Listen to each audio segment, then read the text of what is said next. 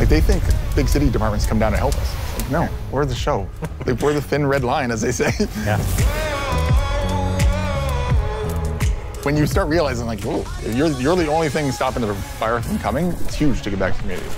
You know, that pressure of like, you are it for the first few hours, mm-hmm. uh, and your actions or your inactions can dictate how fast that can spread.